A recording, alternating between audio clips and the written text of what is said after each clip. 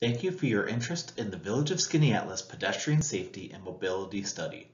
The Syracuse Metropolitan Transportation Council is conducting this study. This presentation is intended to inform community members about the purpose of the study, the analysis completed to date, and some initial concepts developed for specific locations in the village. SMTC staff will be conducting a live session on Zoom on January 18th to answer any questions you have after viewing this presentation. More details about participating in that session are provided at the end of this presentation.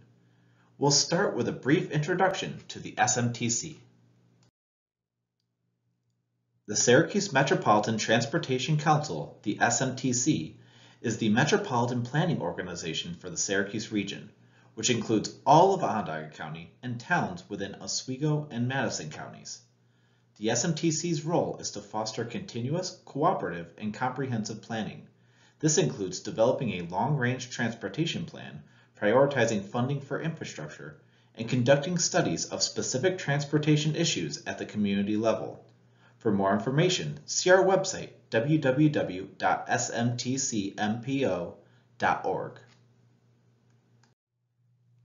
So what is a Metropolitan Planning Organization? A Metropolitan Planning Organization, or MPO, is a transportation policymaking and planning body made up of representatives of local, state, and federal government and transportation authorities.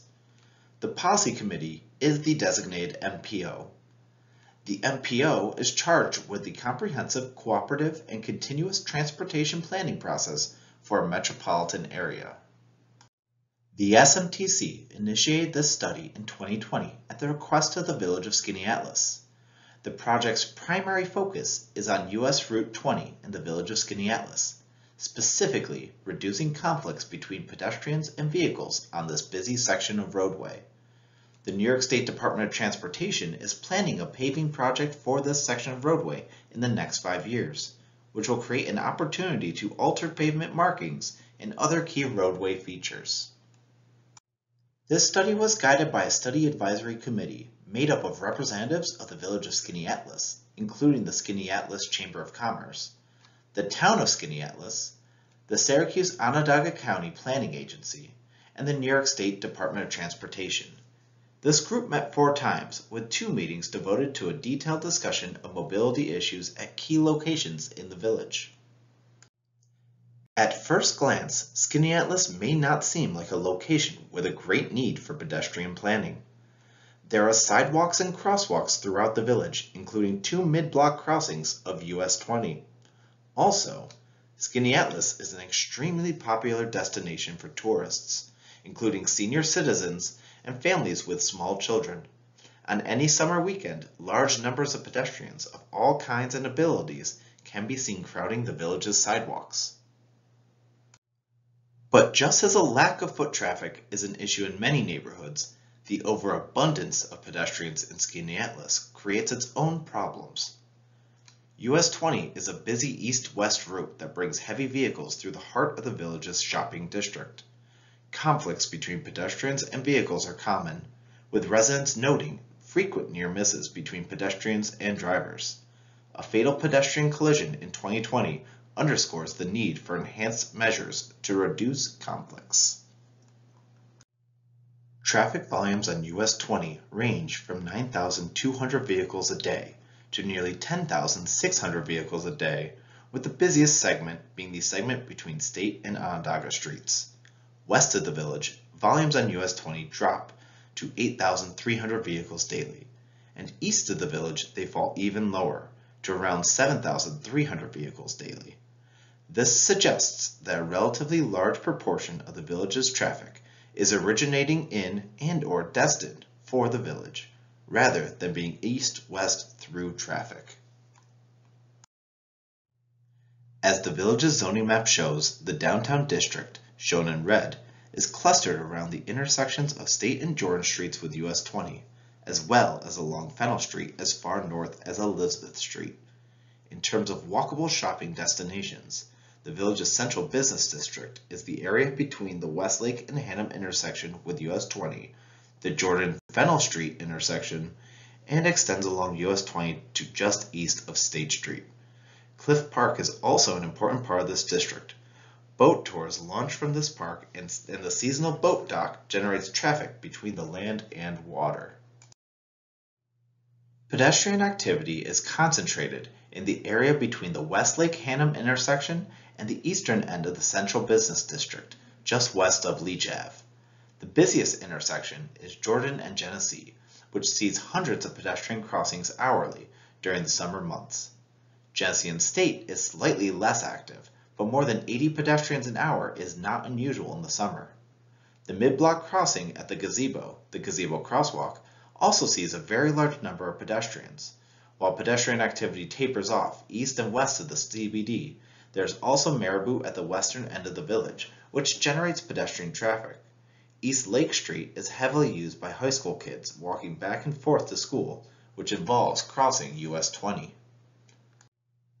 From 2016 to 2020, there were eight pedestrian collisions in the village. As this graphic shows, the crossing point with the greatest number of pedestrian collisions is the US 20 State Street intersection, which saw four out of the eight pedestrian crashes, including a fatality in the fall of 2020. Historically, more pedestrian collisions have happened on US 20 than on any other single facility within the village. From 2016 to 2020, there were 377 vehicle collisions in the village of Skaneateles. Most crashes occurred during daylight hours, and crashes are distributed fairly evenly among the days of the week. Fridays see more than average with 18% of all crashes, and Saturdays and Sundays see fewer than average, 13 and 10% respectively. 55% of all collisions in the village take place on US 20. Looking only at the crashes on US 20 that are not at intersections, there were 86 vehicle collisions in this period, which is 2.2 times higher than the statewide average for similar facilities. 29% of those collisions were rear-end crashes. 31% were overtaking crashes. Overtaking is a catch-all term for unsafe passing. This is a relatively high proportion of crashes of this type for a state highway. The width of US 20 varies through the village. On either end of the village and in the segment just east of 41A, lanes are a standard width of 11 to 12 feet. Because it is part of the National Highway System, US 20 is required to have lanes that are at least 12 feet wide. Elsewhere, US 20's travel lanes become extremely wide, in some segments reaching as wide as 21 to 22 feet for a single lane. Research into roadway design does indicate that wider lanes are generally safer, so two 12-foot lanes are generally safer than two 7-foot lanes. But research also shows that at a certain point, lanes can be too wide. One research paper found that when lanes reached 17 feet wide, they can become confusing to drivers. In Skaneateles, these wide lanes may be contributing to the relatively high proportion of overtaking accidents on roadway segments in the village. There are approximately 800 on and off-street parking spaces, not including the town lot on Fennell Street. While this is more than enough parking to accommodate the parking demand for most villages in central New York, Skaneateles is a known tourist destination with special events that bring in thousands of additional vehicles. The existing parking supply can be overwhelmed during a major event, or even on a busy summer weekend. This leads to cars circulating through the downtown looking for spaces, adding to the congestion. Based on this data and on input from the Stakeholder Advisory Committee members, we developed design ideas at selected locations in the village. Your comments and opinions on these concepts are an important part of the planning process. These are preliminary concepts only, intended to both ensure safe street crossings for pedestrians and improve the flow of traffic through the village. Our study focused on six locations in the village as key areas in which to rethink how vehicles and pedestrians share the public right-of-way. They are, from west to east, the US 20 intersection with Orchard Road and Kane Avenue, also known as Route 41A, the intersection of US 20 at Westlake and Hannum Streets, the portion of US 20 adjacent to Cliff Park leading up to Jordan Street, the segment between Jordan and State Streets, the US 20 intersection with East Lake Road, also known as Route 41, and the Jordan Street intersection with Fennell Street. We develop design concepts for each of these locations. In most cases, we develop more than one variation on these ideas. These are all based on design improvements that have been used in communities around the world to create a safer environment for all roadway users. The key question is, which of these are a good fit for your community? We are very interested in your comments on which ideas seem most applicable to the conditions in your village. We begin moving from west to east, starting with 41A and US 20. The intersection of Kane Avenue and Orchard is the busiest intersection on the village's western end. Kane Avenue is the northern terminus of State Route 41A, a major north-south route along Skaneateles Lake's western edge. This intersection is not known as a pedestrian crossing point, but it is known in the village as a source of vehicle conflicts. The overall accident rate at this intersection is 1.7 times higher than the statewide average for similar intersections. But for left turn collisions, it is 7.4 times higher than the statewide average. Village residents report that congestion is common at this intersection, especially for northbound vehicles and especially in the summer months. Currently, the only traffic controls present are stop signs for northbound and southbound vehicles reinforced by flashing red light and supplemented by flashing yellow caution light for vehicles on US 20. Both of the concepts developed for this intersection suggest implementing a three-color signal based primarily on traffic volumes. Both US 20 and Route 41A see sufficient traffic volumes to warrant a signal at this location, which would improve safety for all users. This concept recommends that a signal be combined with pedestrian signals and crosswalks on all approaches. This concept also recommends creating a right turn only lane. Right turning vehicles outnumber left turns and through movements at this intersection by a 3 to 1 margin. Adding a right turn lane would reduce delays for northbound vehicles. This concept would also utilize roadway striping to create center medians. A second version of this concept eliminates the center medians and instead uses painted-in curb extensions to reduce pedestrians' crossing distances and to create a gateway to the village for eastbound vehicles. Moving to the intersection of Westlake and Hannum, the Project Study Advisory Committee reported that the existing crosswalk at this intersection has poor visibility and poor driver compliance. Special events at the Sherwood Inn generate large numbers of pedestrians, many of whom gravitate to this intersection to cross US 20. This intersection is the western gateway to the village's central business district, but it is characterized by wide travel lanes and a diagonal crosswalk that unnecessarily increases pedestrian travel time across the roadway. The key to cutting down on conflicts between vehicles and pedestrians is decreasing the amount of time that pedestrians take to clear the street. Concept 1 for this intersection uses painted curb extensions and a perpendicular crosswalk to carve out plenty of space for vehicles while minimizing the crossing distance for pedestrians. Painted curb extensions would eliminate a total of 9 feet of excess width from the roadway, leaving a standard 12-foot lane for cars and trucks. Painted curb extensions and a reoriented crosswalk would reduce the crossing distance from 56 feet to 24 feet. An optional addition to this idea and to some of the other concepts that will be presented is to use a small raised delineator called an armadillo to augment the roadway striping.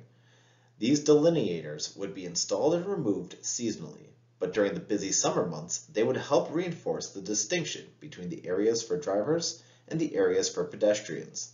Armadillos have a vertical profile of 3.5 inches, ensuring that they can be traversed by vehicles when necessary.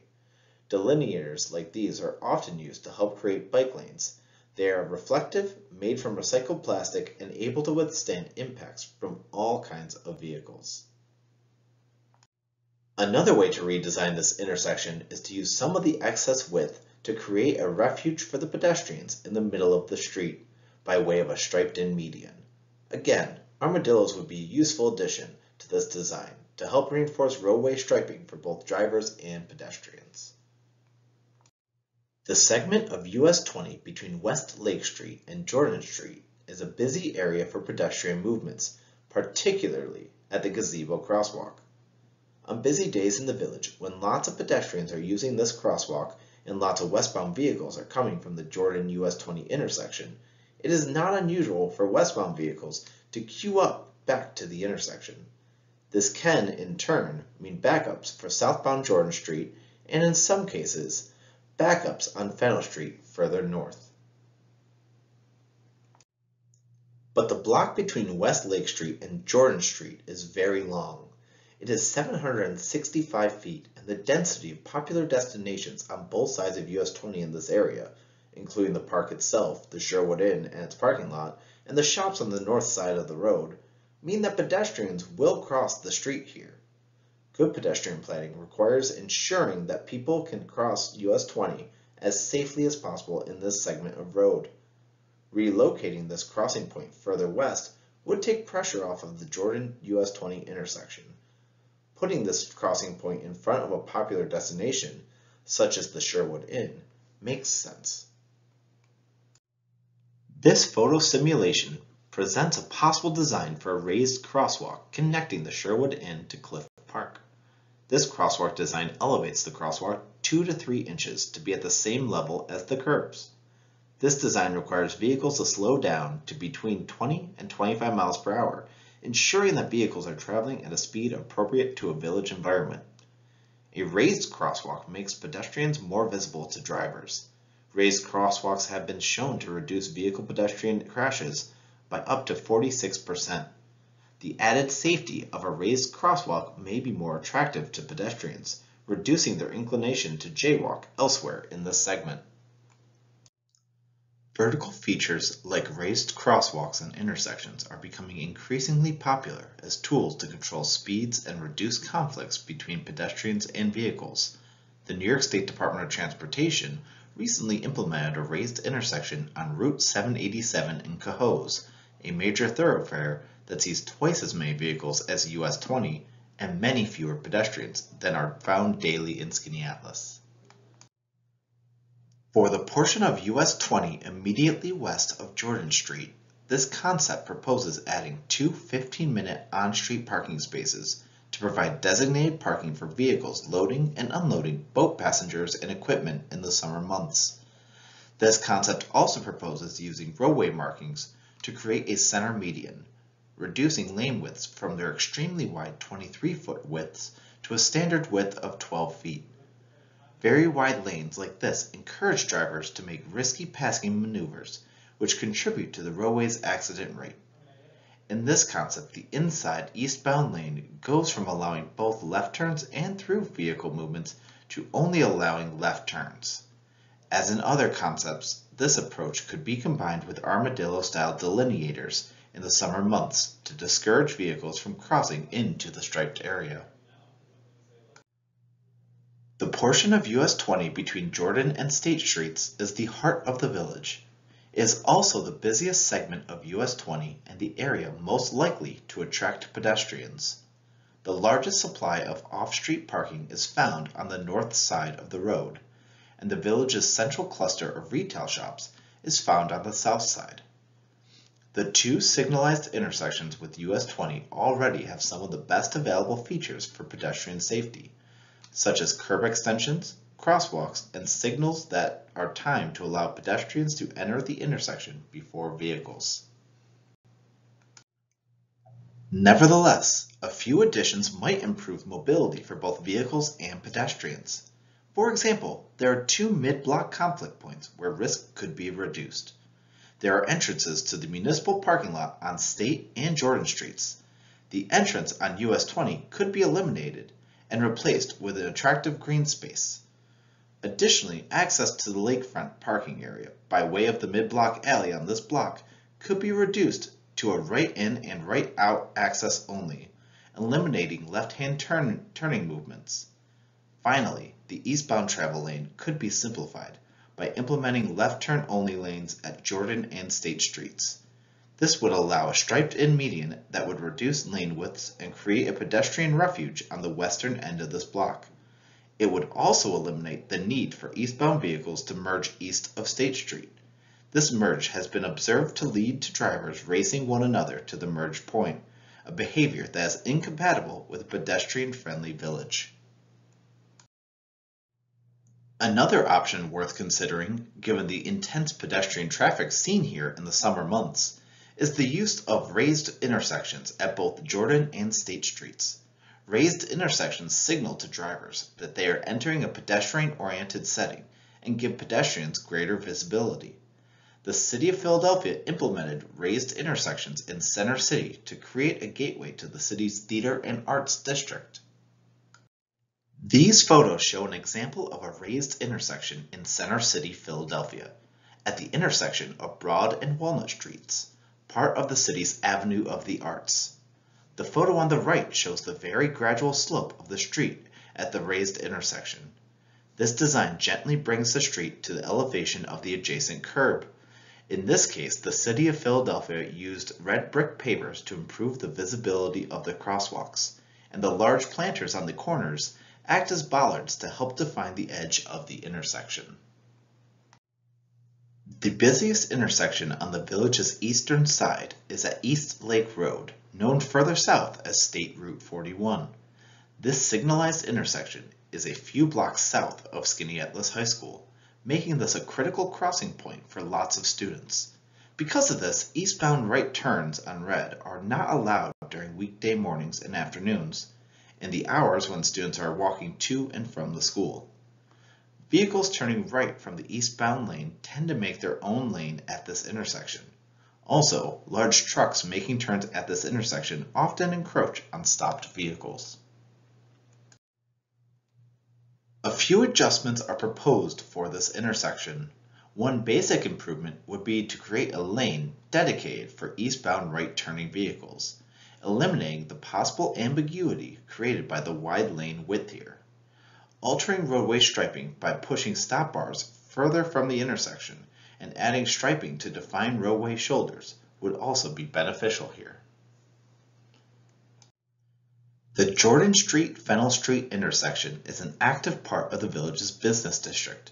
The oblique angle at the intersection means that the distance to cross Fennell Street is nearly twice the distance across Jordan, increasing pedestrians' exposure time to turning vehicles.